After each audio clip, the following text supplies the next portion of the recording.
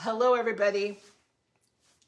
I'm I'm finally here. I'm sorry for keeping you all waiting. I'm sorry for keeping my what guest waiting. Bad planning on my part. Uh, so I take I take the the whole responsibility of it. Um, it's Natalie from Creative Makers. Nice to see you all. Hello, one person. Thank you for joining us. I'm sitting here with Anna Stump today. Um, first of all, I want to say that uh, definitely poor planning on my part. They took me off the freeway at some point, and I had no idea where um, I, I was going to go, and it delayed the whole thing by I don't know 20 or 30 minutes. Not an excuse. Second thing is just real quick.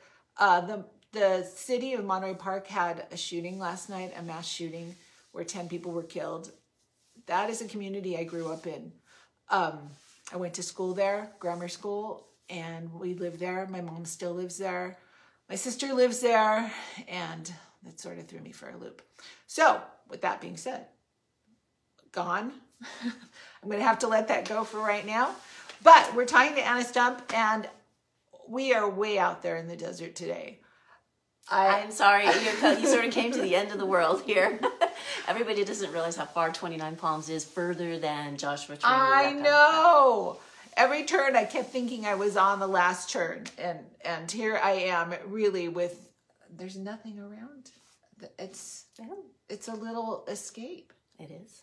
Yeah. Very we're in the country. Yeah. It's it's gorgeously desolate here. Yep. Most definitely. Yep. All right. So my guest Anna here has come to me via two avenues. So I met your partner Ted because I went and saw a talk that he did at USC. Oh, cool. And he's and he showed me your art and he's like, you have to talk to Anna. She's a much better painter than I am, but talk to her. And I, I saw your stuff and I was like, yes, yes, yes. But then I didn't know, understand that we were also related to this community up here through Joe Alvarez and Aaron Campbell. Mm-hmm. And they had talked to me and they're like, "Oh, you have to talk to Anna too." Oh. so so I have I have you two ways, which seems to be happening more and more lately that I'm having these double everybody's meshed, yeah, intermeshed. Yeah. yeah, the communities are so small, the art community. Yeah. Okay, so I'm going to just start with the the first and only question that is a big question, and then where the conversation goes from there. And do you want me to like talk to, into the camera? Sure, you can talk. In, you can talk, into the camera. Yeah. You can talk to me. It's fine. Okay. I think people are used to seeing my profile and, and whatever, whatever. beautiful profile. whatever happens is fine. Okay, so my first and only question is: I want to know what creativity looked like for you as a child. How did it how did it bubble up? How did it surface? Um, as a child, and I've been thinking about this a lot because I'm I'm about to do the live from Joshua Tree uh, desert stories, and so oh. I'm talking about how did I get to the desert. Um, so I've been thinking about my childhood because even though I didn't grow up in the desert, I grew up in San Diego, Chula Vista area. Um, I've always had connections to the desert, and that was through my grandparents. And as a child, there were no artists in my family. So a lot of times I think people get to artistry because there are other creative makers that are getting an example. Right. But I didn't have that at all. What I had was my grandparents who loved art and actually collected art. And they collected oh. art here in the desert. So they collected uh, because they had a vacation house in La Quinta in the 1960s. Oh, uh-huh. And I and I, as a little girl, I used to go out there. But they had collected cowboy art. That's what my grandfather liked, you know, Western art. Yeah. And so, so like Remington, that that sort that of style. type of stuff. Yes, okay. it so was realism. Very, very, very paintings of cow, cow, the um, desert, cow, John yes, Wayne. yes, yes, yes, John that Wayne. sort of thing, yeah. and native some Native American types of stuff. Um, and they were the ones who encouraged me. You know, who took me to they took me to museums. They would take me to galleries, and there was art all around in their house. And then sometimes art would overflow, and they'd have a you know, uh, can just do, do you want this to, to, my mom? Do you want this painting in your house? So we started having paintings in our house. So original art. so it got like around. shared. It did. It did. And my grandfather, he was a very good collector and he collected he had a really good eye which was so surprising. He was he was a lawyer you know and he no no arts connection. But um, he put helped put nine grandchildren through college by selling the art Oh after gosh. it appreciated. He had bought some really good things. So yeah.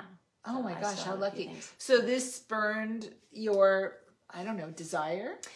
I did visual art in in um, in elementary school and all through junior high and high school, definitely. And I also did dance, um, and I played the piano. So we did all kinds of sort of music and and then, um, but I they didn't. Nobody encouraged me to become an artist because that was a scary thing. So Right, that's yeah. taboos in some in some families. Oh, most. worlds. I think it still is. I think. Um, I think that because I have taught so many years, um, I think young people have a really hard time telling their family, "I want to have be an art major," especially because I taught at the community college level, and so you've got um, you know kids who are either coming from immigrant families or they're coming from families that you know maybe don't have a lot of money. And Yeah. their parents want them to be practical right and and successful. yeah, yeah. Yeah. And so it, I always had a really keen interest in like saying, okay,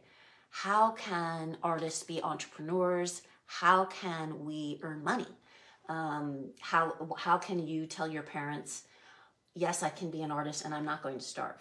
So that's always been a really big interest of mine, and and so as I moved through my my life, I've always thought. I, I- in the end, when I think back, I'm like, in another world i might have been gone into to business you know mm-hmm. but i think all artists are business people we are small entrepreneurs and we have to think that way It's it's funny because I think of you that way because I was reading your bio and and all the things you did and I was like, you're not just an entrepreneur, you're an entrepreneur. You know? yeah yeah and that was my description of you when I was like mm-hmm. describing what you did mm-hmm. because you just have your fingers in lots of things. Yep, yep. And that's definitely what I would try to teach my students. You know, lots of different things, and your career is probably going to shift, mm-hmm. and and don't be scared of that. You know, I think that we grew up thinking, okay, I've got to develop a style, and I've got to paint only one way because that's what we saw from you know all through the 20th century. Right. These artists who you know Jackson Pollock did drip paintings and then that's what he did and that's that's what you're known for and if you did something else a gallerist is going to say don't do it because it's Right, going to nobody your knows brand you. and yeah yeah yeah and I and now I know that that is not what uh, happened. I think the postmodern art world is much bigger than that and understands. But it is interesting to think about, like, okay, how is my career shaped and how is it changing and how how did the pandemic change me? You know, and, Right. and lots of people, I think, Yeah. changed their art. So okay, so going back, so then as a child, did you see this artwork on the walls and then you were just inspired to duplicate it or mm-hmm. mess with it? Yep, yep. Always loved painting, drawing. I'm I'm definitely a 2D artist. Although it's interesting because What's I a did. 2D artist? you know, I make flat things. Oh, okay. I, I don't make sculpture, Oh, okay. I, but I make spaces. I definitely make spaces, and I think that has to do with being a dancer and understanding and choreographer and understanding how do people move through a space. And so my big project, Mojave Land, definitely I think of that whole thing as my artwork. Although I am taking and inviting artists to design for me and I'm sort of directing them, I feel that that is my art. That is my, because it's a social practice. So I am a social practitioner now first, as opposed to a painter. I'm still a painter, You're still a painter. Yeah. Right. But you've sort of got your arms embraced around a bunch of other things that include other Yeah. artists. yeah. That's really interesting. Okay, so so let's talk through sort of like the the beginnings of your art world, um, in terms of like putting, making stuff, finding out what you like to paint, and how you got the word out about what you did, and how how did people find you? How did they buy your art? So I studied painting in college. I Oh, went so you did. I did. Oh, of course. I, I went to Occidental College, which is in Los Angeles. It's a liberal arts school. It's very very small. close to one- where I live. Yeah, Eagle Rock. Yeah. And I, I think my my family wanted to be uh, me to be a teacher because the women in my family were teachers. The men were lawyers. The women were teachers. very, you know, traditional type thing. And um, so my and my mom was a kindergarten teacher. And uh, but then when I said I wasn't going to be an art major, they finally said okay. Um, and they were gritting their teeth the whole they time. Were, they were. They were. okay. and I worked in, and because I was doing dance, I also worked in the theater, and I did some set painting, and um, and I think I sort of flailed around a bit in my 20s. I did a lot of different jobs. Um, I, I was a professional ballroom dancer for four years. That, and that's how I earned my money. That is yeah, amazing. In my 20s. It was fun.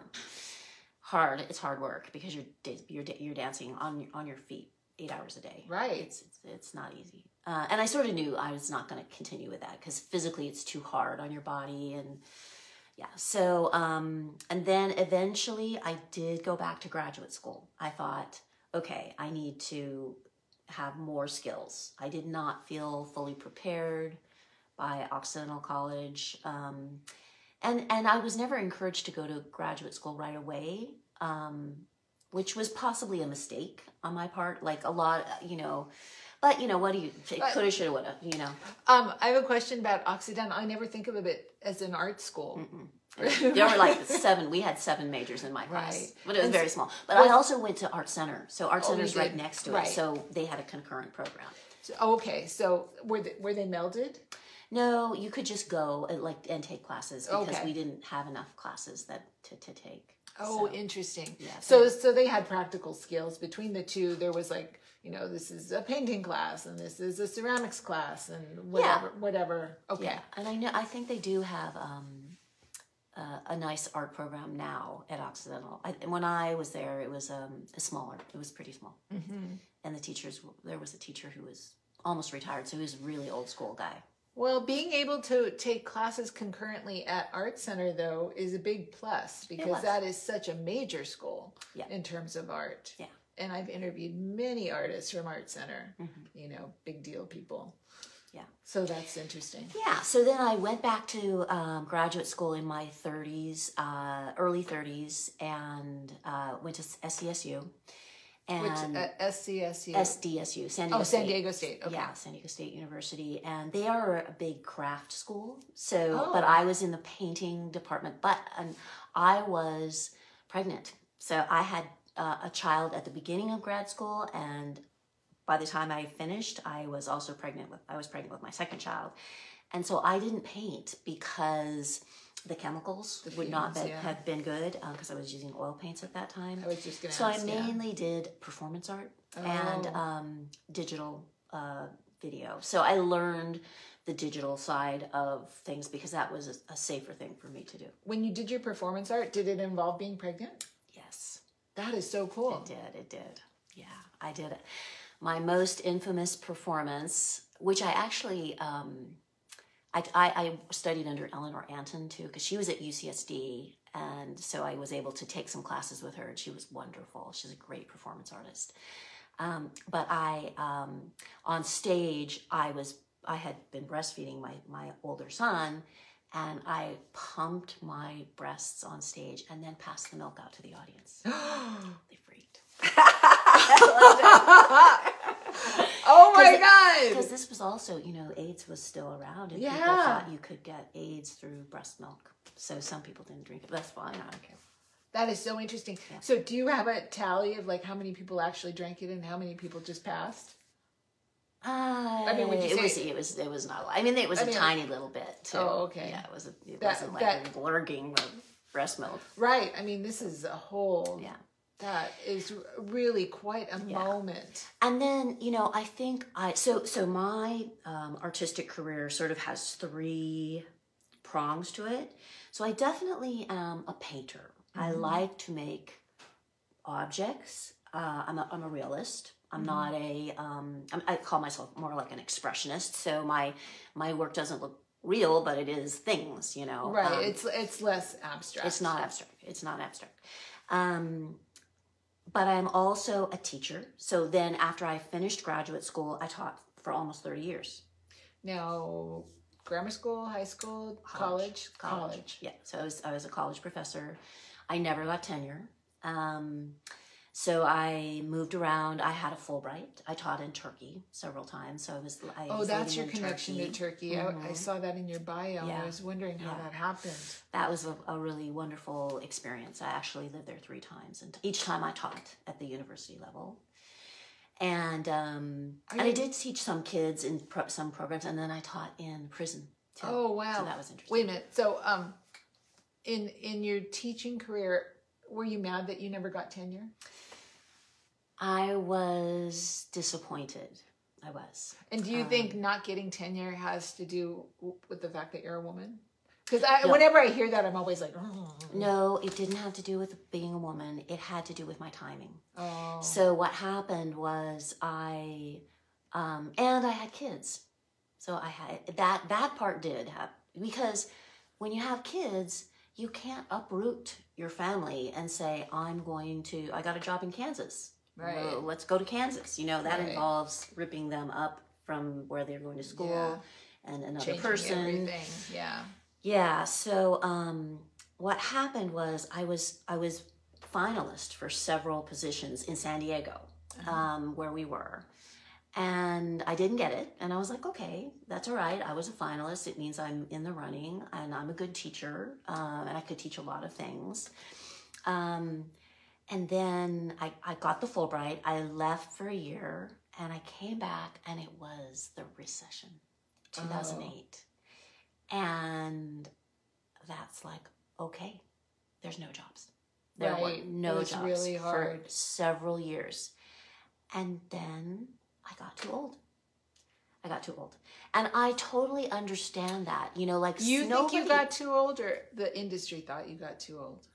the industry because and I, I get it because it's so hard to get a position at, at the university level at, at the at the even the community college level they have to fight for that position and if you hire somebody who's late 40s by that time i was mid 40s Yeah.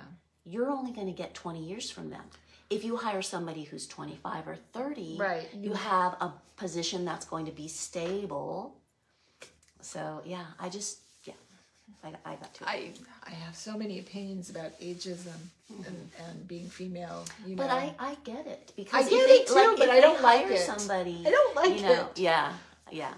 In the end, it, it just it was the way it was, and in the end, it's a blessing because then I realized that that was the point where I realized, okay, I am never going to get tenure. I am going to keep teaching, uh, and it, it sort of was stable or not stable. And the main schools I taught at in San Diego were San Diego City College and Grossmont College uh, one inner city, one in the suburbs, but you know, service serving uh, kids who really needed me. You know, they were these weren't wealthy kids; they weren't wealthy students, And I felt like I started to feel like, okay, at least I can um, do really good work and feel like I'm giving back to the community because I'm helping Yeah. these students and advising them. And I taught art, art entrepreneurship. I taught um, introduction to art. I taught lots of studio classes. I taught, in the end, I taught in the digital department at Grossmont College, um, digital painting and animation and stuff like that. Um, and then I just felt like, okay, in my own career, now it's time to step up the entrepreneurial stuff. So then pushing more, looking more, you know, looking at the gallery scene in San Diego, which is pretty small, Mhm. and then realizing, okay, no, gotta gotta focus more on LA. And so, and then my relationship with Ted, he's really entrepreneurial. So Ted, Ted's my partner, and um, he- Ted Mayer or Meyer. Meyer. Mhm. Last week I kept calling him Ted Clark. I don't know why. so Ted Meyer, um, also an interview. You can look it up later. Yeah, yeah, and he's so he's been so supportive of me every crazy idea I have, and and uh, just supporting me. It's amazing. Um, so and then so I really started to push um, working in LA, and I've also always been very collaborative in terms of liking to work with other artists, and so. I had a really wonderful collaboration in my 20s with um, another choreographer, um, uh, and I'm, I'm still close friends with her. Um, so that was a wonderful collaboration. And then I had a collaboration that I did in San Diego with a dancer and a musician um, which we called it. We called ourselves a jazz trio, midair trio, where we we would do live performance. She would dance. Uh, I would paint, and there was a musician who sort of uh, was a jazz musician who would work off of us. So that was a really wonderful thing. I established a, a women's group in San Diego. Um, it has about 60 members now. Wow. Yeah, it's called uh, Feminist Image Group, um, FIG for short, and probably did. I probably led about twelve exhibitions over a period of ten or fifteen years, mostly performance based. Wow. So yeah, and that was that was really a wonderful thing to be collaborating with this group, big group of women. it's so interesting to me that um, it seems to me that being pregnant actually shaped your career so much because it really Yeah. moved you in the direction from painting all the time or painting mostly to being mostly a performance artist. Yeah, I mean, and I I always meld the, the two. So, for example, one of the performances that I just really loved that we did in, with Fig was we did this performance called Gift. So the whole idea was, okay, women are always giving. You know, it's it's really it's a thing that we do. Right. And so we decided, well, let's talk about that. Let's talk about how we give and is this the right thing to do as artists? And so we did this performance in that during the opening, every person who showed, and there were probably 30 of us, had to give something. And so the performance was just this mass of little um, areas where people were either giving away little drawings they did or they were we had helen redman i was just looking at this picture of her she just held someone's hand. She gave the gift of holding someone's hand. Oh, and so the people sat down held held hands and sort of just like were there. It was a su- it was such an interesting What a beautiful sort of thing, though, that everybody their their gift looked different. It wasn't necessarily an object, no no but a feeling. it could have been or yeah it could have been like a, a, um, hug, a capacity, a capacity to do Uh-huh. something for somebody. Yeah, yeah. Some people we did little drawings of people and gave them that sort of thing. And then another performance we did, which love I loved, idea. was we did. This was a very early Fig performance. It was called Feeder, and we as women um, were in a gallery, and we all had different kinds of food, and we fed the guests like babies. And so that was really interesting because the women were so uncomfortable, but the men loved it. The men, Oh my because God. you're you're going back to feeding like a baby, and then there's like a sexual connotation too. It was Oh, super interesting. that ma- that that simultaneously delights me and makes me repulsed. yeah. yeah. Well, some people did like a, a spoonful of vodka, you know. Oh my I. I or you know said like said here have a drink of this, you know, or and then I I fed pudding because I you know that's sort of fun. That's sort- And it, it, it was a really great performance.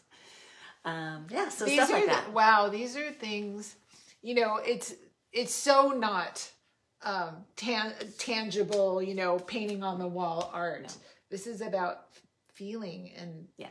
the fleetingness of it you know Experiential stuff, Yeah. which I really think is powerful. very i Mm-hmm. don't think about it that much because i don't operate that way but when i hear about it then i'm like yes absolutely Yeah. So Fig still exists. Um, I passed the leadership on to somebody else who's, Yeah. who's, but I'm still involved, even though I don't live in San Diego anymore. Um, and then on the opposite side, I have a, a partnership, a wonderful partnership right now that has been going on for the past 10 years with Daphne Hill. And she and I do collaborative work. i saw Um, this artwork yeah. over at gustav's place last Right. week Yeah. and that that stuff just blew me away Yeah. And right now we're in transition. We're probably going to be changing up what we do a little bit because we've been doing it for 10 years. We've sold a lot of it.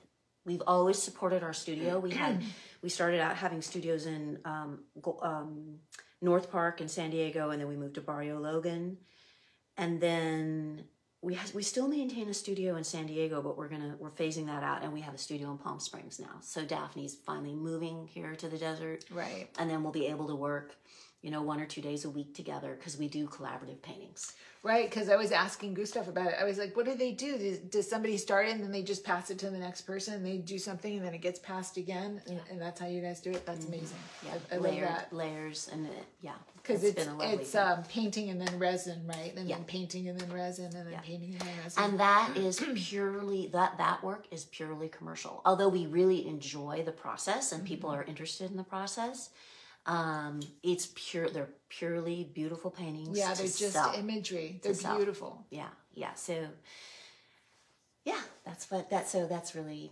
interesting and i, I mean i think that i've had the most commercial ex- success through we call that that company is called hill and stump um, she's daphne hill i'm on a stump um, and we but now we're sort of figuring out how to move past that and then we'll figure out a new thing. Because we really enjoy we're really close friends and we really enjoy working together and then we like enjoy showing together so. So yeah and um, my own painting practice um, has generally been on canvas or um, on panel and then when i moved here to the desert um, we moved here to start an artist residency Right. How how long have you lived here now? almost five years Almost well five years. Okay. we bought the place five years ago we Mm-hmm. couldn't live here in the beginning because it was just You needed work. Needed help. Yeah, yeah. But um, we moved full time during at the beginning of the pandemic because Mm-hmm. I just was like, I'm out of the city. Forget it. Were you living in LA? San Diego. Oh, still. you were living in San yeah, Diego. because I still Okay. Mm. had kids and I still had one kid in high school, so it's not good to leave. But then high school stopped, so I just scooped him up and took him here. So he lives here now with you? No, he's in college. Oh, okay. So he's all right. He's Moved in on. college now. Moved on. He's he's at uh, Cal Arts. He's my Oh. artist. My younger one is an artist. Of course. Yeah. Of yeah, course he is. Um, while you were teaching, were you continuing your own practice while you were doing that as well? Yes. Yeah. Always, always. I always Never put it maintained a studio outside of my home, um, and that's one thing that's different now because now here in the desert, our studio is it's roves around the property depending on how hot it is and how cold it is because the weather here is sort of severe. Yeah. It's But extreme. now we do have a, an outside studio in Palm Springs too. So so, but but I always maintained that outs, outside studio because I felt as a woman that it was important to not have to pe- bring people into your home to see your work. Oh, I never thought about it that way. I was Yeah. thinking about it in the way that, you know, when when you work at home, sometimes you never get to the work you need to do because there's always the ways the work you have to do. Yeah, yeah, yeah, you know, yeah, yeah. your kids calling you, the dinner needs to be made. Definitely, whatever. when I had kids, that was super important to be able to go to the studio, have that time that I'm just there, and also the connection with other artists in the studio complexes. I always tried to pay attention to that, you know, where I chose to have studios. Um, yeah, but I, uh, yeah, I think that's important. Can you, just for the sake of people listening and watching, can you talk a little bit about what you look for in a studio? Like, what kind of space are you looking for? Uh, location, Mm-hmm. definitely. It, you need to be in that spot where other artists are. So, Oh, so, okay, so that's and valuable my to you. yeah it's very valuable so in san diego my studios sort of followed because artists get pushed out of neighborhoods Yeah, right of course they do. They make So- it beautiful, and mm-hmm. then everybody's like, "Oh, look how beautiful it is around here. Yeah. I want to live here." And and if they get pushed out because it's too expensive. Yep, yep, and they yep. move on to the next place. yeah so north park got too expensive they raised the rent we moved down to barrio logan we had this amazing studio in Bar- barrio logan i loved it rents went up okay went back to went to golden hill. And and you know it's the same with la artists just get pushed from neighborhood to Yeah. neighborhood as they get gentrified. Um so yeah i look for and now we're down in palm springs because of that there were some artists that were nearby. So what happens in palm springs is there's too much retail space. So little strip malls are being taken over by artists. And a friend of mine who's a very wonderful lovely person linda keeler um, she was in the strip mall. I said, you know what, Linda, if something ever comes up, let me know. And something came up. I'm like, okay, got it. So that's where you, you met Gustav. So Gustav, Okay. Daphne, Ted, So and I that space share is that your space. spirit space. Yeah. that makes sense. And yeah, a, a strip mall is a great idea, and it it's like It's got parking. well, and it's like instant party atmosphere. Yeah, you yeah. know, so we could go from from place to place when you have an opening. Yeah, easily. So yeah. So I'm and I'm you know trying to break into the Palm Springs market. It's a little hard because the high desert is not that close. You know, I have to. Right. It's an hour to drive there, but I can spend the night in the studio and. um and I just got into the Palm Springs Art Fair, which Oh, is coming up. Yeah, I got juried into a, a show by Frederick Fulmer, so that's exciting. Um, with some work that I have been doing this past summer, um, in the heat of the when it was 115 out here i was like okay Yeah. i'm just stay inside and do this little small work that part's hard. yeah Yeah, working in these elements because when it finally isn't too hot, it often gets too cold yeah to be outside and do your thing. Yeah. So the work that i'm doing up here it's there's i've got a little piece that i can show Oh, people well, so good. so basically i i um i often take uh pieces of metal that i found Yeah, here so this is in a the spade, Uh, right? yeah. Yeah. And uh oopsies, Ted's got a yeah, there we go. Um and I collage and paint on them and I do these little jackrabbit homesteads and I'm really interested in um I've been for several years So doing beautiful. work. I did work about the border when I was in San Diego. I posted one of your pieces, one of the pinata pieces this yeah, morning. things flying in the sky. And so then out here, what flies in the sky are helicopters because of this huge marine base that's here. Right. So a lot of my work is has to do with the military and um, sort of like the militarized desert and sort of the idea of, you know, there's this huge expanse of sky and a lot of times people think, well, there's nothing in the desert, so what does the military do? Use it for a bombing range, which is basically what this whole thing is. Right. Um, so yeah, that's sort of um, my work. So it's on metal. Um, some of it's small, like this. Some of it's Is this acrylic or, or oils? it's acrylic. I, acrylic. I don't use oil much anymore. No. Because of the fumes and stuff, or just Yeah, and I just got away from it. And I use um, gouache a lot of Yeah. times also. Um, so yeah, and then my my paintings that I'm doing that I did for that just got into the Palm Springs Art Fair were um, a series of smoke trees. So smoke, like people think, oh well, the Joshua tree is mystical, and it is. Um, but there's this tree that grows out here that is called a smoke tree, and it it's very hard. You can't plant it. You know, it's it it grows. It's wild. Like I would love to have some on this property, but you but can't, you can't get move it. them. Mm-mm, you cannot move them. They have this really long root, and they um, they they look just sometimes just deader than dead, just like falling over, and but then or or sometimes half of it will be alive and half of it will be dead. But when it blooms in it blooms in the hottest months in June and July, it um, has these purple flowers and it gets covered with bees. Just like you come up to it and it's like bees are all over it. And um, it's just this beautiful thing and it blooms only for a few days and then it's gone. And it, they sort of look like they have smoke you know they call it smoke tree because it's like the, the the leaves are actually thorns Oh. so they um it just looks very mystical and I mean, you're gonna have to point one out to. There's. they're on there- the side of the road They are? Okay, I'm gonna have to look for yeah, one. in washes Because I don't think I've ever thought about it before. and there was this connection so the, so there's a conceptual element there's almost always a conceptual e- element to my my work um, when i was a little kid my grandparents were buying this this um, western art my grandfather revered this group called the cowboy artists of america Oh yeah. and he told me, and I don't really know if this is true, but uh, he told me that they had a test to get into the Cowboy Artists of America, which was to paint a smoke tree that looked like it was on fire or on smoky. Oh, So, wow. Mm-hmm. because it's a hard tree to paint, and there actually is something called the Smoke Tree School, and um, This is gonna be worth me looking up so and messing yeah, around with. but then my grandfather said, "Well, you know, even if you got even even if you could paint that well that you could ever paint a smoke tree, uh, you wouldn't be able to get into the Cowboy Artists of America because they don't let women in, and they don't. And, and they, they, I looked at their website; and they still don't have any women in there. and they're all all old guys, old white guys. But anyway, so I made this. I said, okay, that's it. I'm going to paint 100 smoke trees. So I, I've got 100 paintings done. Every tree is different, all different media: gouache, acrylic, or um, I've got marker, ink, mm, colored pencil. I'm just doing. Some of them are drawings and some of them are paintings. And I'm sorry I don't have any here. I was just going to say, Springs. do you have any that we can see? They're in Palm Springs.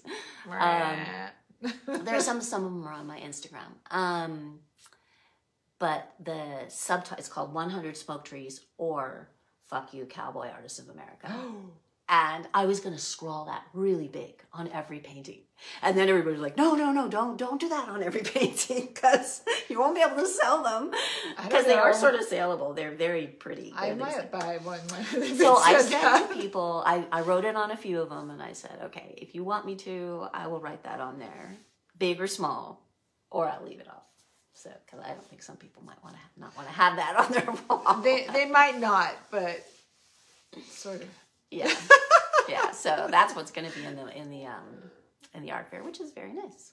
So it's a it's a pretty good fair. Yeah, no, I know I know it it is a good fair. A friend of mine's always participating in that one. Yeah, or I think it's that one. Yes. Yeah. So that's it. So, um, yeah. And then my other big project, besides, well, the residency, I think of that as an artwork. It's a social practice artwork. And that's really sort of my teaching, even though I retired from teaching, um, which I'm very happy to have done. Um, you know, when the re- when residents come here, I don't teach them, mm-hmm. but there's a there's a subtle there's, sort of conversation that goes along, and we talk about their work, and that's part of why they come. So tell me about the the residency. How do you get into it? Does it cost money? You know what what do you expect from it? How long is it? So what happened was when my kids finally grew up and went away to college mm-hmm. and were didn't need me so much anymore ted and i started going on residencies ourselves mm-hmm and we went to one in Ireland. Oh. And then, and it was amazing. It's called Cill Rialaig.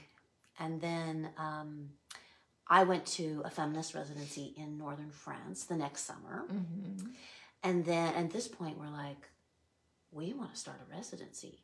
This is sort of an amazing thing, mm-hmm. you know. I we I had when I was in college, I just thought residencies were for very famous artists and they were hard to get into. I thought residencies you had to be chosen for them. And so that they were free. They different. were free sort of things, but you had to pay in terms of your artwork. So every residency is completely different. Mm. And they run the gamut from being, yeah, you they're not open to the public. You are chosen and it's a free month or two months or a year, mm-hmm. you know or in residencies can run the gamut from being completely free or getting a stipend mm-hmm. to you paying quite a lot of money. Yeah. So, and that's why we started going on residencies ourselves to see how are these run. Every residency is different. It's run different administration, it's different physical settings, most you do need some land then mm-hmm. that's why we came here because mm-hmm. we couldn't think of having a residency in la in the city right it would be really hard unless yeah. you were really lucky yeah so we went to ireland france and then i went we went to one in michoacan in mexico oh wow and each you know taking notes besides participating in the right. residency how how do they financially run um, yeah. how do people interact with the residents? What's the living situation? Mm-hmm. What's the eating situation? How long are they? Blah blah blah.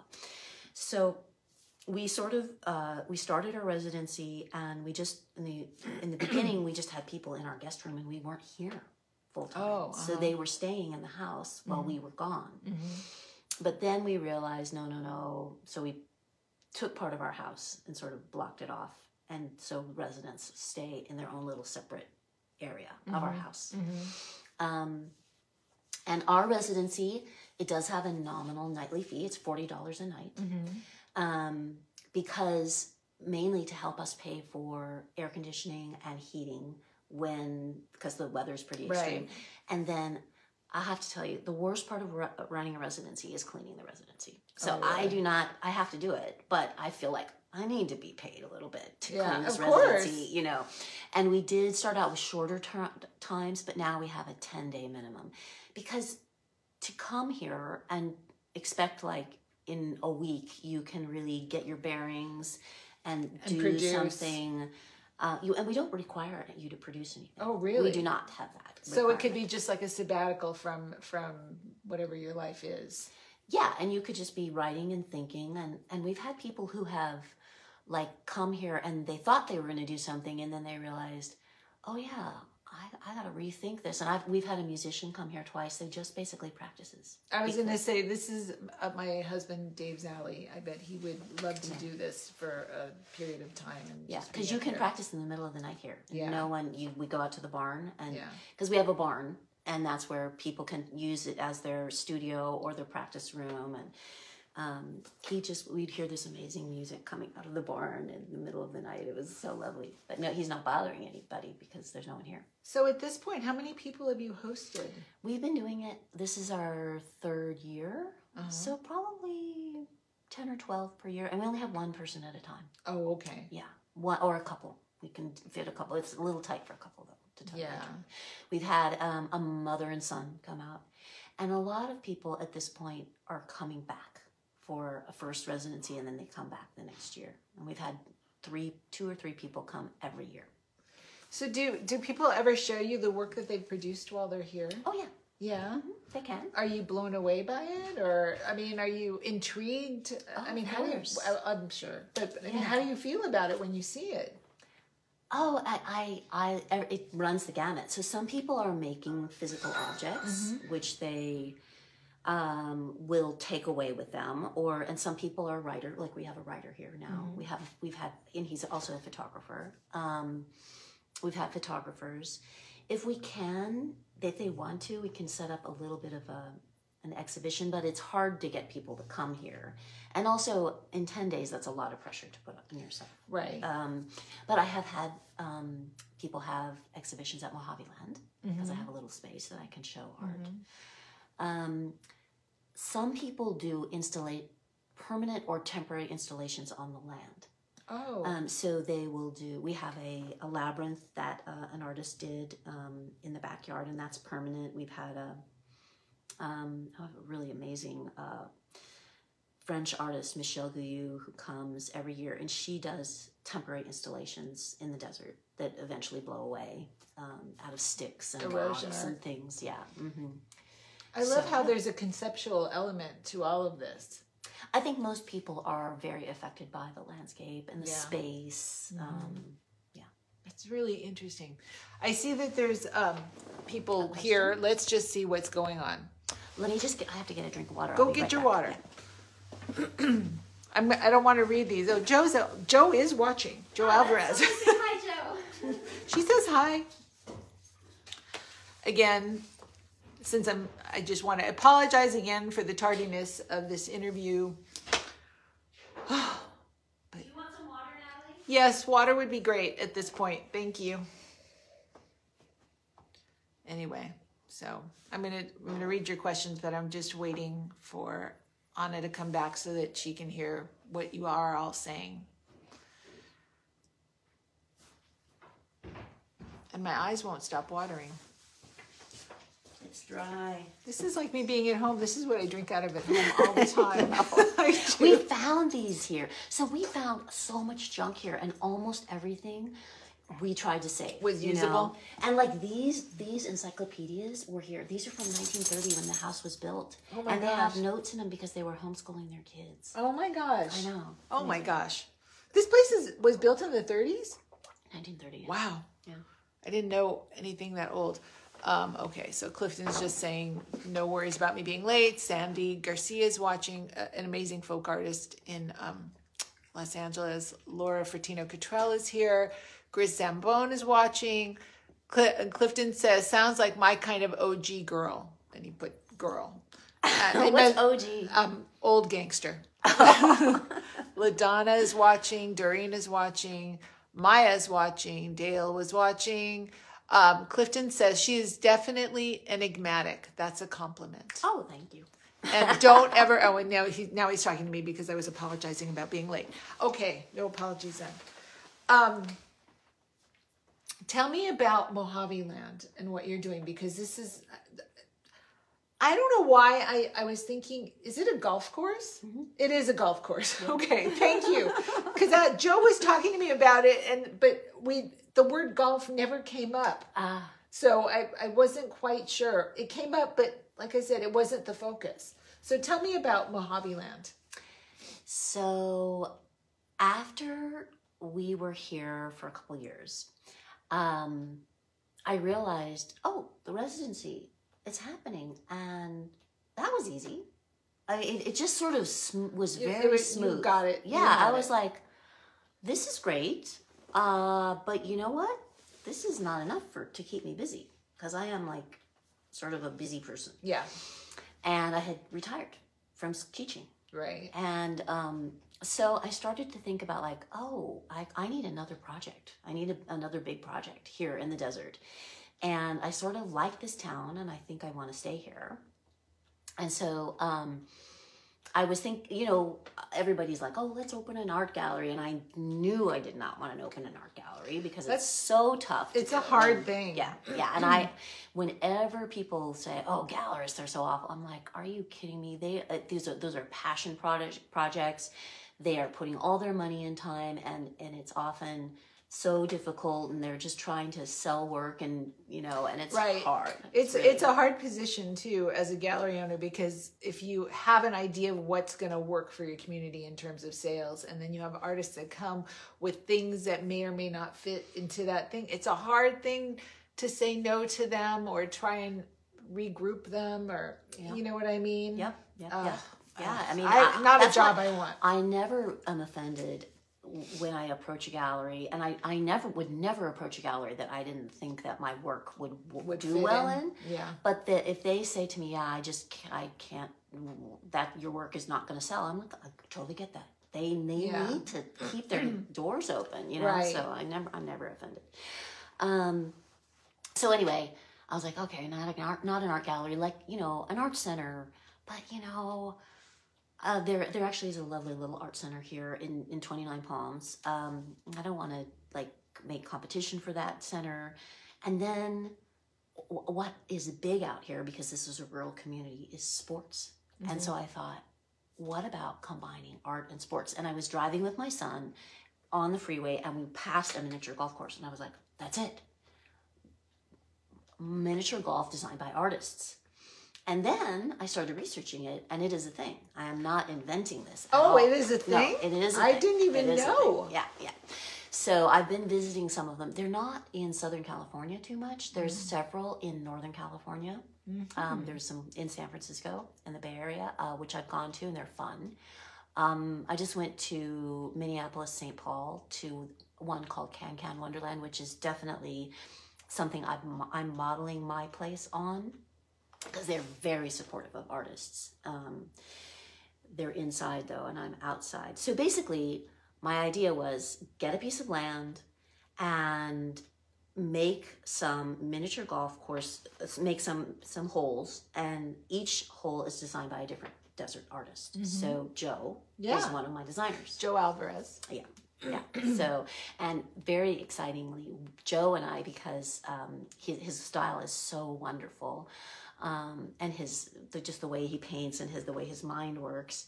Um, I said, okay, would, do you want to like make a proposal for the Mexicali Biennial? And we got in. right So we are now de- designing a portable hole, which will be installed in the fall at the Calexico um, uh, uh, school. The San Diego State has a Calexico um, outpost. like um, an annex yeah, yeah, mm-hmm. and so they have a gallery there, and so we're gonna have the art. the The whole is in gonna be in the gallery, playable. oh my gosh Yeah, yeah, yeah. So it'll be it'll be really fun. So yeah, so then I just was like, okay, I'm gonna de- design this whole almost like a little amusement park that's all completely designed by artists. That was my idea, and it's a huge project. It's a very, can't very okay project. how many holes are there now I have 13, 13 holes 13 holes, and so I I bought a piece of commercial land Uh-huh. to put this on because part of the problem up here in the high desert is people have land and they want to do something with it and they make these fantastic places but they're on they're zoned residential. And so you cannot really ever make a performing arts space or an art, you know, they do it, but they're You're doing not it. supposed to. Right, right. So It's I under was the- like, it's flying under the radar. Right. And I was like, I want to um, do it right. And then I was like, I had no idea what I was getting myself into. No idea. Uh, because commercial real estate development is, is sort of crazy. And so the city sort of turned the blind eye for about for my first year. But then I got a little grant. So that's the other thing. I have a nonprofit sponsor.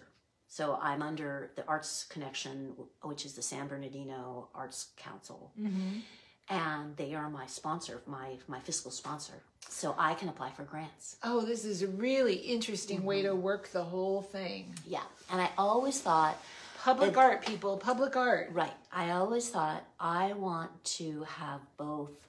I knew that eventually I would have to earn money with this place. I haven't done it yet, but it would be there. You can have a for-profit business that has a nonprofit arm. So if I, for example, kept that nonprofit teaching part of it mm-hmm. separate, mm-hmm. I can continue the nonprofit and still have a for-profit business. That's eventually way the way I may work it. I do mm-hmm. not know, but for now, I my project is a completely a community-based project. It's free. All I do is pour thousands of dollars into it, and now I'm starting to get a few little grants. So So at this point, okay, so Mojave Land is nearby, right? And it's a 13 hole golf course. And there's a an old abandoned house there which i use as a little gallery space. It has the the property has no electricity or water. It was abandoned 30 years ago. And so but i do have a couple i have a, a house and a little shed which i store stuff in. And i have murals all over the of the buildings and the kids. So what happens when they go to play the families uh, play a round of golf, which takes 45 minutes or an hour, and then the kids play uh, paint directly on the house. So Oh, the so house they- is covered with murals. So they they add to it all yeah, the time. yeah. I have a teaching changes. artist. Yeah, I have a teaching artist who leads them. So and adults paint on it too. They love it. So do so do people pay to go there and no so that it really it is totally free so i mean you I just a, I show have a dona- donation can, Oh, but good. you know if they want to put in a couple bucks, they can. It's all completely free. And so then the city um, started saying, "Okay, we've we've you've we've turned the other cheek, but now you're gonna have to start, pay, you know, paying attention to some rules." So I'm like, okay. So I had to, and I have always bought insurance. So insurance is a big thing. yeah you know that's yeah, a, that's a cost yeah and um, I have a porta potty. Of course, I have to pay that, and you know the property taxes, and then of course the construction. I I need I have a contractor who helps me. I have always had a goal to pay the artists, and I haven't been able to do that yet.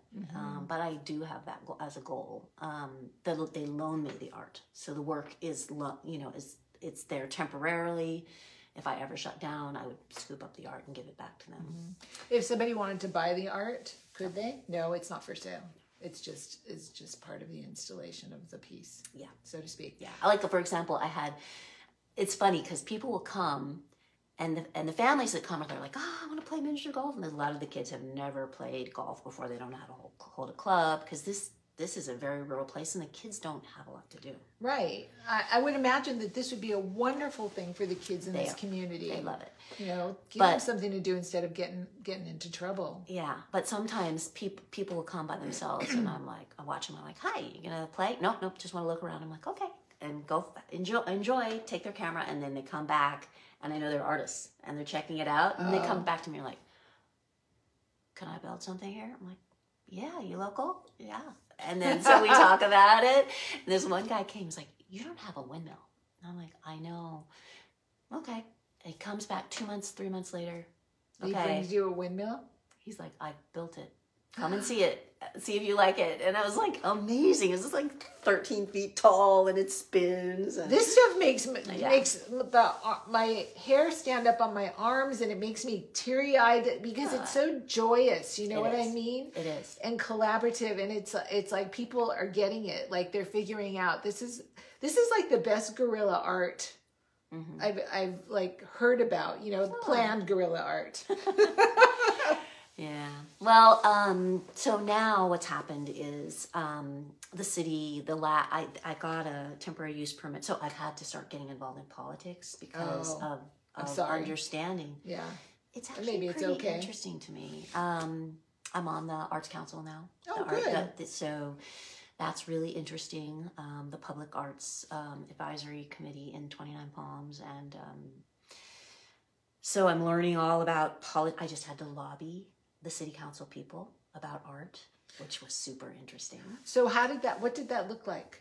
Like what does lobbying look like for you? How I mean, did you just take them out to lunch and No, try I, I said, them? can I have a meeting with you? And we're trying to uh, convince them that spending money on public art is important. worthy? And but they and these are they're all men at this point. Um, we had a we had a woman. She just got knocked out of office, but v- diverse. That's Twenty Nine Palms is diverse in terms of ethnicity, and that's good. Um, it's like trying to explain to them in layman's terms why art matters, Right. and trying to figure out what they want to see. You know, like This is Um, an interesting thought because I mean, you and I both know how much art matters and Mm-hmm. how much it shapes every facet of your life, whether you are paying attention to it or not. But trying to convince a bunch of gentlemen, we will say, you know how how it affected them, and they don't even know how Right. it affected them. Right. And they don't understand it and it feels elitist. And that's so I have a big thing about, you know, of course, I love going to museums and seeing crazy elitist art and understand, you know, conceptual art. But that's not for everybody. That's for a Right. very small group Right. of people. Not And- everybody learns that way or enjoys right that and i like that's why miniature golf you know i want to show parents i'm actually trying to get to the parents because because it goes back to that community college thing of where you ask a you know a classroom of people who are in an art class how many of you are in art majors and no one raises their hand Right. and you say well why my parents don't want me to art is going to make starve and i'm like ugh you know at the same time i know that those kids are staying in college or staying in high school because of art or music because Right. not everybody plays sports you know it's basically like how are you going to get yourselves to stay educated unless you have something that's like exciting you to stay in school Right, right. If somebody put me in school and said you can only stay in school because you live for history, I'd be out of there in a second. yeah you know, yeah yeah yeah, or you So- live for ge- I mean- geology. No, I saw it very clearly. I, I think art saves lives. you know, Absolutely. just in the same way that sports saves lives. You know. I always think about this little saying uh, from years ago: "Teach art, art teaches." Yeah. I mean, it's it gets all summed up. Yeah. So yeah. So, but basically, what's happened with Mojave Land now is I wasn't able to get a second permit because they Oh. um, because I I have some some structural things that have to happen. So I've got to figure out if I can move forward with um, commercial development. And commercial real estate development is crazy expensive. So- right, because it, it has public safety in mind, so it's Oh, probably yeah. got a whole ADA. whole new set of rules. ADA, I have to build roads, I have to underground utilities, I have to, unfortunately, the worst thing is a lot of cement and covering the land with cement is a bad thing, but um, for, for many reasons, you know, cement's bad, Right. causes runoff. Runoff causes flash floods here, you know, so runoff is a Oh. huge thing that has to be en- engineered for. I mean, I know everything about like fire access and, you know, turn lanes and, you know, curb gutter, how much easements and setbacks and all this sort of stuff. It's sort of an amazing uh, education. I'm I was going to say it's a whole new compartment. Yeah, yeah. So m- my pivot right now is I'll be taking Mojave Land off of this property and having I can have only private events now, but everyone's invited. So, Oh. uh, but I can't advertise anymore. I see. Yeah, because I was being on the radio and um, there's a radio, the local radio station and the newspaper and stuff like that. I can't do that anymore because it's not open to the public. So where are you going to move it? I have portable holes. Oh, So oh, I'm oh, oh. going to be taking it. I last year I took it to yes, some art galleries, but I was at the retreat center mm. one for an event. I have done several, and we have a new plaza in Twenty Nine Palms. There's a big farmers market. I'm friends with that guy. He's like, anytime you want to come on, because I just roll out the the um, holes, and it's brilliant because the kids can play and the parents can shop. Right. It's exactly what you want. You know, keep the kids happy. Yeah. Let them have fun. Have a little art table on the side so that they're doing something artistic, and the parents are like, they love it. Do you wonder about this venture and like where it's going to take you? I don't know. Ted says I'm going to be on the city council, but I, I will not ever be on the city council. But it is funny. it is very funny to, to be sort of involved with city politics now.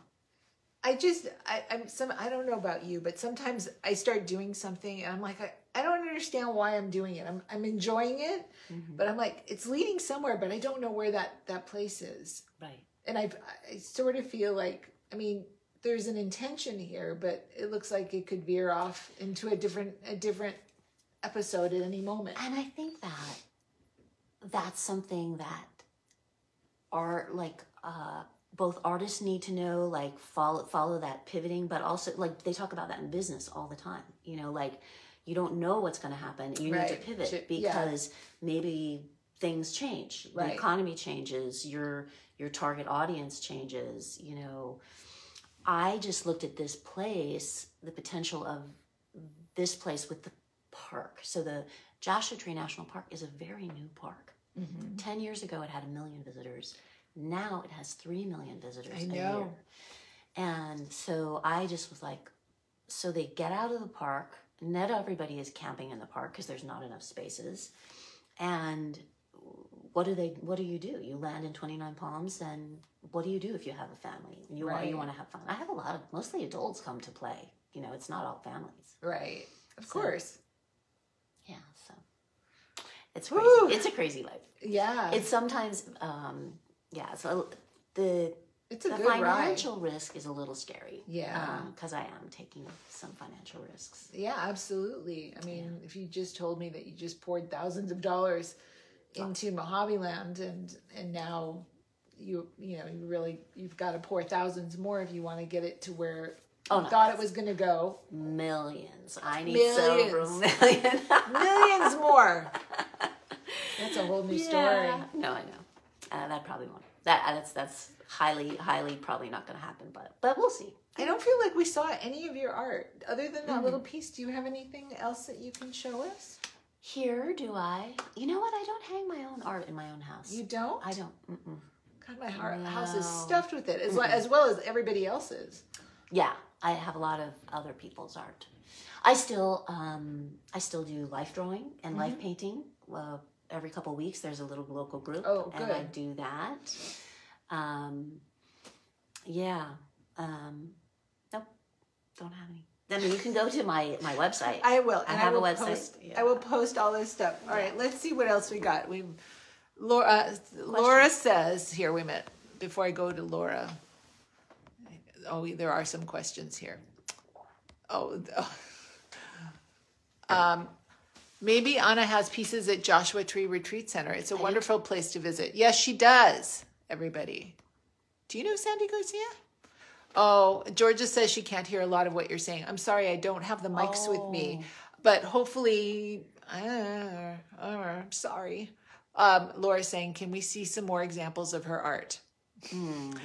Um, Clifton says, on cafe, I saw, see a lot of requests for public outdoor art. It's encouraging, yet I want to see much more. Lack of art is an insidious form of starvation. Absolutely. LaDonna says, Can you get some contractors to donate time and supplies as a tax write off? Well, up here, contractors are very hard to come by because there is this Airbnb building boom. Um, Right. So I did find a contractor who is so creative, and if I can get him even to come to help me, it's a miracle. Um, my, you know, I do have people who are helping me, um, uh, and they charge me very little, but I would never ask them to do something for free. No. It's it's a hard thing too in this city. Um, there's it's there's a lot of growth potential here, and I I feel like people are dying to make money in in a good way. You know, Yeah, like because there's this, a this is a very under um, served community, Yeah. economically disadvantaged. Um, nobody, there's no wealthy. There's like not not No. not a wealthy class here. No. you know. Okay, Laura says, sounds like she has experience taking chances and risking without knowing where it will lead. Why not city council? Would, would, hold on, would, wouldn't it be great if a true artist was a council member and you wouldn't have to worry about lobbying and convincing? You'd be on the inside. Think about it. I think that's a really good point. Okay, I'll think about it. Good point, Laura. yeah, yeah. I, mm, I, you know, who knows? Who knows? I, I, I don't know if uh, the average person would vote for me, and that, and that's, Really? uh, you yeah. Really? Yeah. Somebody did ask me to run and I was like, no way. I'm not I'm not gonna do that. I don't know. I would maybe keep that like right here. Yeah. You never know what'll happen. And I, I, you know what? You might be surprised about people voting for you or not voting for you. But you know, I also have a very healthy respect for people who have a, a broader understanding. My expertise is pretty narrow. You know, it's it's basically um, you know, art and uh, you know uh, art so the what we're doing with on the, the the on the committee right now is we're we're all new. The old guard uh, retired who were running the art program here in 29 palms and they were basically um, focused on murals and public sculpture. And we we said well you know what we're not going to do that because that doesn't make sense every all the art because it has to be maintained and they Right. had no understanding that Oh. where's the budget to maintain all these sculptures that we have in 29 palms and all these murals that are fading and cracking and you know weathering and probably graffitied over. we don't have graffiti Oh, here that's actually good. but oh, that's um good. yeah so they didn't understand that so we're trying to explain to them okay temporary art eh, pay the artists. So they had they kept on doing all the artists have donated stuff for free. And we're like no freaking way. No more free Yeah. art. We do not ask we're not going to ask anybody to perform for free or makes for make anything for free or design for free. No. So pay everybody and then um, expand the idea of public art into more temporal performative performative things that would be include dance theater literary arts you know readings lectures and yes of course some visual art but everything's temporary See, it's so smart though, because then that makes it so that people need to come back because it's mm-hmm. always changing. The work is fleeting. You know, there, you can't depend on it being here forever and ever and ever. I think that's a really good way to go. yeah and the city that's what the city council wants to hear that art leads to tourism Right. you know and art brings money into tax money into the the ba- you know the town and the basin so yeah and you know just trying to keep this unique feel one of the things that's really cool about the Morongo Basin, about Joshua Tree and Yucca and, and 29, the towns here, is the art looks very different than the art down in Palm Springs in the Right. Coachella Valley, mm-hmm. which is very influenced by modernism and It's a whole different it's very- mindset down yes, there, though. it's too. very abstract. It's much slicker. It's much more pop art. And up here, we're all looking at Noah Purifoy, picking up the trash, picking up the things, not, you know, we don't have lawns here. There are no green. There's no green lawns. And you go down to Palm Springs, and it's like, right. green. There's a lot of stuff. yeah. So, but it's fun to see the art is different. Yeah.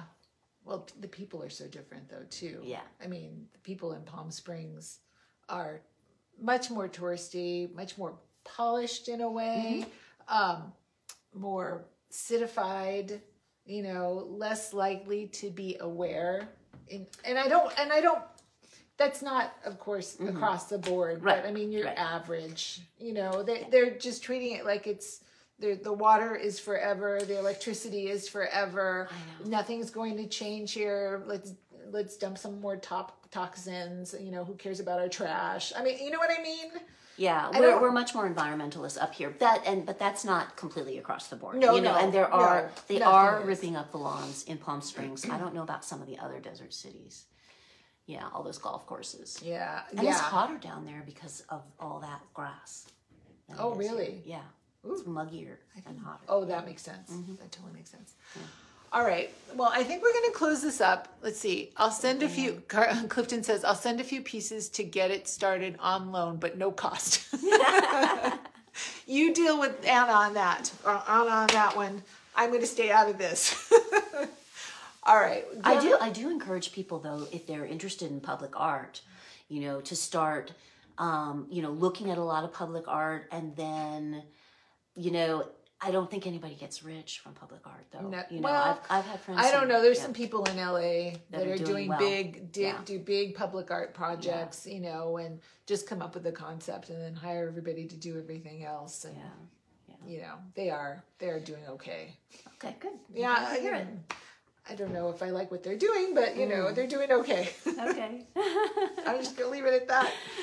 Um, any parting words and and for for my group people, we need to be keep going. Don't get discouraged. And you know if you have any questions for me like if you have an uh, you know if you have an idea for something business oriented i you know i'm completely willing to help you know i But You're so sweet. i i you know that's sort of what i've always thought about doing is just like it, helping people you know like make a business plan. That's that's something that people need to do Yeah. and even if it's just for yourself you just say who am i making this for is it for me is there is there an audience that i'm thinking about you know and and that's that's important right. Who would come? Who would participate? Who would do Mm-hmm. This?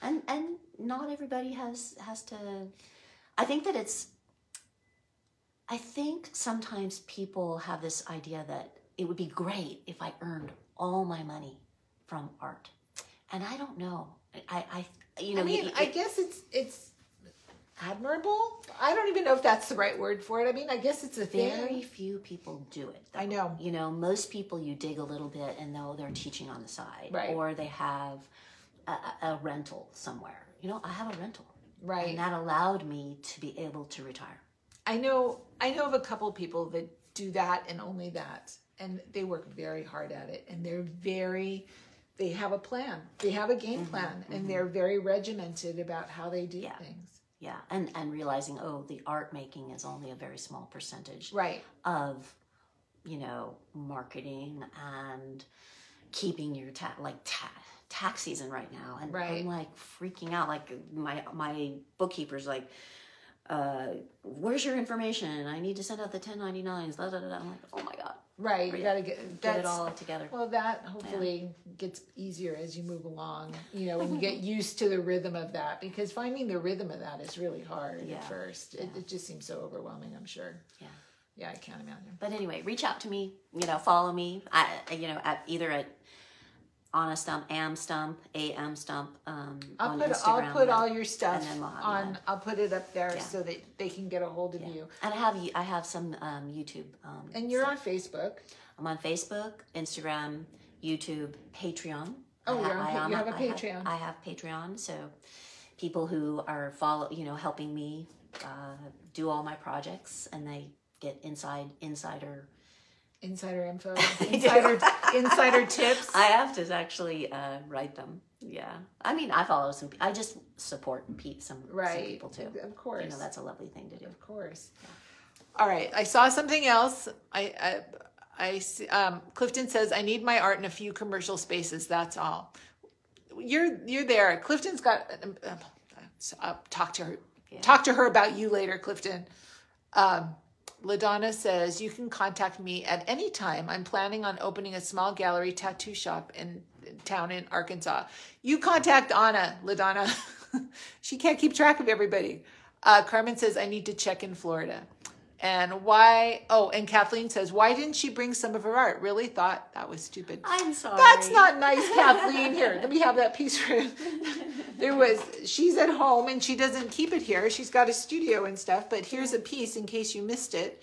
She works on found objects sometimes, and this is a piece of a spade, you know, for gardening. and she paints on it. So there you go. All right. With that being said, we're going to close this up. Thank you so much for being here. And um, have a beautiful day, and I will talk to you all next week. Bye, guys. Bye.